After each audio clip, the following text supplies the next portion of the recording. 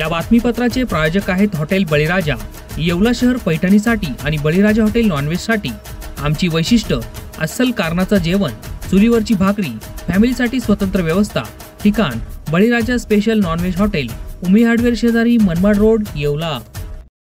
इगतपुरी तालुक्यातील मुंडेगाव औद्योगिक वसाहतीमधील सर्वात मोठ्या असणाऱ्या जिंदाल पॉलिफिल्म कारखान्यात साडे अकरा वाजेच्या सुमारास मोठा स्फोट होऊन भीषण आग लागली आहे. आगीचं रौद्ररूप इतकं भयंकर होतं की इगतपुरी तालुक्याच्या विविध भागात आगीचे लोळ दिसत आहेत.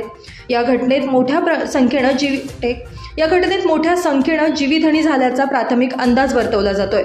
तर पन्नासहून अधिक कामगार जखमी झाल्याचं देखील बोललं जात आहे इगतपुरी तालुक्यासह विविध नाशिकच्या भागातून अग्निशमन यंत्रणा सक्रिय काम करत आहेत.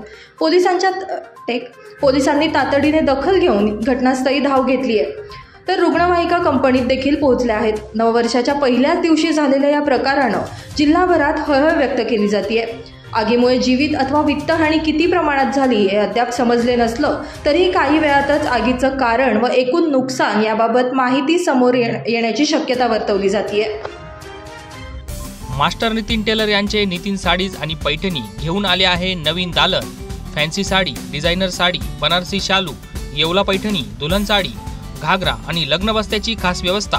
ठिकाण बुरुड गल्ली दरडे कॉम्प्लेक्स शेजारी येवला.